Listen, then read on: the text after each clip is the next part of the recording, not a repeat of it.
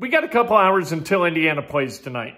And I thought instead of putting up a new live Inside Indiana Sports Now with Kent Sterling, I'd put up part of what Dan Dakich and I did today, Two Big Brains. We do it twice a week. It's really, really fun. It's about 45 minutes long. This isn't going to be a 45-minute clip, obviously, but it's on another channel. So it's not going to be on this channel. The channel is called Two Big Brains, and I'll put the link in the description and you can find it. But I wanted to share with you what that is because it's a little bit different and it's really, really fun. We have a good time talking about sports. I think you'll have a good time watching it. And then at 9.55 tonight, we're going to have a great time watching Indiana kick the living hell out of Dunderhead Rob Senderoff and the Kent State Golden Flashes. I can't wait to see that. I can't wait to see Kent State's season end tonight. And Rob Senderoff go home in tears Anyway, here's Dan Dakich and I from a little bit earlier today celebrating St. Patrick's Day, talking about sports.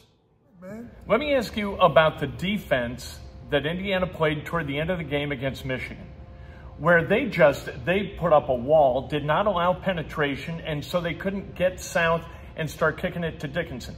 Why don't they do this all the time? And wouldn't this be a good thing to do tonight against a team like Kent State that likes putting yes. it on the on the floor and getting to the rack. Absolutely. You know, when you're bigger than somebody, so here's the camera. If I'm taller than, I can give a little more room. Right. I can get, I can put you at arm's length a little bit, and, and Indiana's going to be bigger. All right, here's what has to happen in that vein. First, I got to square my shoulders to the shoot uh, to the driver. You know, it used to be you turned, you wanted to force everybody to the baseline. Well, guys are pretty good with the ball now. If they get past you even a little bit, they'll duck underneath. So I got to square my shoulders. That's number one. Number two is you as the guy next to me. So yeah. we call it one pass away. I got the ball. There's a guy, he's one pass away. Two passes away would be if I'm on the top of the key, me throwing it to the corner. That's two passes away. One pass when you're one pass away from a dribbler, you've got to be immediately in help side. So it's only one move. Because the recovery is quick. That's it. Right. I don't have to come here and then there. I'm already here, which visually slows down the driver. So he sees me here. All right. Then when I kick it, I don't have to help and then recover. I just got to recover, and that is huge. So if you're watching the game tonight, yeah, don't watch the ball when when when uh, Kent has the ball, watch the guys next to the driver and see what's happening. Yeah. Now, how do you beat that? If you're Kent, I'll tell you how you beat that. You get some movement. You cross the floor. You don't stand. Boom, boom, boom. Four guys around one. That's not how they play, which is which is good for Kent. You move guys because it puts me as a defender and you as a defender in a different position than just being in help. And Indiana will get lost on defense. Oh, Indiana does two things. I tell you the worst. Frickin' Iowa. Does Iowa not practice closing out on a shooter? I'm looking at you, yeah. Franny. Like what we don't we don't get up in. I mean, they were so late yesterday. Yeah. And India, you can't be late today. Yeah. You, if you're Indiana, you cannot be. I'll tell you what else. You can't be late if you're Purdue. You cannot be late because what a little guy's going to do against you? They're going to make shots if, if they get going. So if you're late, use your length, get there early, run them off the three-point line. If you're Purdue, where are they running them into? Bigger guys, Edey, don't worry about it. And Fairleigh Dickinson's got nothing to lose, and nothing to lose, no expectations. That's a pretty comfortable place to be. It, it, and the, you mentioned the word comfortable. All right, I always say this: you can get hot defensively. Like people think hot in basketball is making jump shots. Uh-uh. Yeah. You can get to where I know you're not doing shit against me. I got you. You can't. You you know. And what happens then is the offense gets a little sped up and then a shot that looks open to the crowd yeah. is uncomfortable. Use what kind of is uncomfortable. So Indiana and Purdue, Purdue just needs to say, look, great, great year. You didn't win your league. Uh, Fairleigh Dickinson, you only got in because Merrimack wasn't eligible, but it's time to go. you said on your KentSterling.com, which by the way is the best sports talk in the world, in the city. Nice. It is. You said this, and nobody else in the city could think this way. You said Chris Ballard is signing players like he was 12 and 4 as opposed to being 4 and 12 or whatever the hell the record yeah. was. Elaborate. He's he's acting like he's won something. He's going out and getting depth pieces at defensive tackle and at edge rather than addressing the glaring needs of his team like they don't exist. It's like, oh no, the wide receiver room is fine. We've got no problems. Our starting 22, I would stack up against anybody else's starting 22, despite the fact they're 4 12 and 1. That's insanity. He is piloting the ship as though the, the ship is on calm waters coming into the port uh, triumphant. They're going to have a parade for him. And no, like this team's in deep trouble. You got offensive line problems. You got linebacker problems. You got defensive back problems. You have one real quarterback on the roster. You have two real wide receivers on the roster, and neither of them are dynamic. What? And you got a guy coming off a high ankle who, who's your only dynamic offensive player, and you're again using this word. Your only dynamic defensive player has back issues, nerve problems, and you don't know whether he's ever going to be able to play again. This is craziness to me. And if, if, if I would give him a pass, as we have in the past, if this wasn't year seven.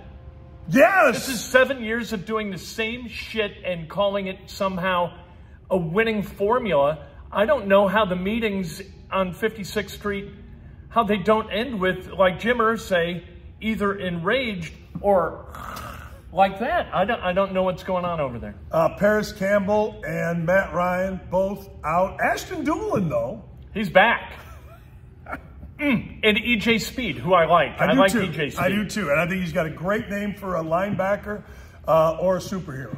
Here's what you don't do if you're putting together an NFL roster you don't overpay for mediocrity. Same thing in baseball. Like I remember when the Cardinals won the World Series in 2011, they had 10 guys who were making above the minimum. Then they had 15 guys under a million dollars. That's how you put together a roster. You, uh, you're willing to overpay for greatness.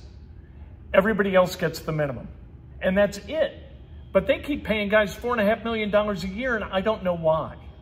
To me, when you look at the NFL, and we've talked about this, and we'll, I'm never stopping talking about this, I got to look at weapons. That's what I look at. Yes. I, okay, so they signed the, the, the pass rusher, but last year they signed Ngakoue, and I tried to tell you he runs past the quarterback because that's what Mike Lombardi told me, and Grigson, and he wasn't wrong. Yeah. All right, so fine, you got a pass rusher, that's great, but Five sacks last year. That's your pass rusher. Okay. that, that was, that's what All I'm saying, but that's okay. All right, now, no Parris Campbell. Right. Which is fine because he's been hurt. But here's the He's deal, the though. guy. Here's the deal. Who you replacing him with? Yeah. I mean, whenever we want somebody gone, you got to replace them. Like, I don't want Matt Ryan here. Okay, here's Gardner Minshew. There's your replacement. I mean, whether he starts or not, he's the replacement for Matt Ryan. All right, I'll give you a gambling tip. Yeah. All right, those of you, this hit, uh, in mine, it hit 9 out of 10. I got this from a, quote, secret society, true story, of big money gamblers here in Indianapolis. Are they all Masons? Are they Freemasons? Yeah. All right, you're watching the game. It gets to halftime. Bet the under for the game, not the under for the second half, for the game. So I'm not saying bet, okay, second half over under is 75. No, the number for the game, which is going to be from 120 to 150. That's what you're betting. Yeah. Uh, seven and two yesterday, nine and one Wednesday, and I uh, know of a guy who had 50 grand on one of the games yesterday. That's how confident people are in that. Wow. Yeah, that guy was not me, ladies and gentlemen. So at halftime, you bet the adjusted under, the over under to the under. Yeah, uh, Iowa. I knew not to do that with Iowa. I, I, I lost that one. I forget the other one I lost. And I'll tell you something else. Unless you're betting stupid, which I really don't bet stupid. I don't bet a lot of money.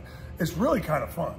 Particularly, like Indiana, don't do it because you're rooting for Indiana. And Right, You want the other right. team to score, right? I don't need a stake in the game to make me interested Yeah. in Indiana, Yeah, obviously. Yeah, you're just watching two teams score. Right. Is that the expectations for this team mediocrity at best? And last year, like, hey, the Titans are going to take a step back. The Jaguars still suck.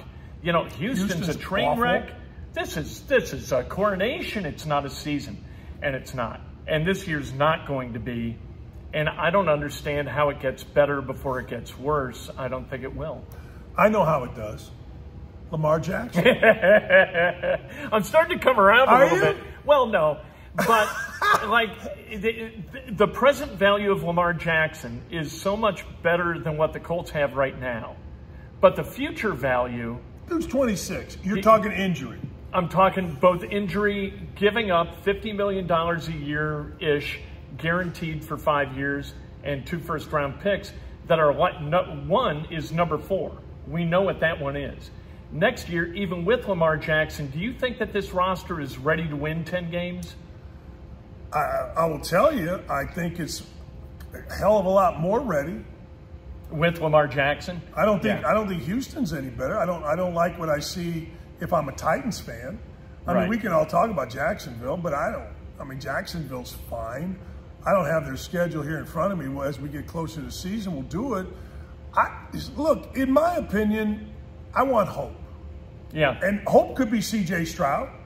Hope could be Anthony Richardson, but I think you're stretching that hope. Here's where the problem is, and it can only be solved with Lamar Jackson, is if you start stacking up the uh, quarterbacks in the AFC, and you say, okay, Mahomes, Burrow, Herbert, Lawrence, Allen, Allen, right? Rodgers, Rodgers, right? Jackson.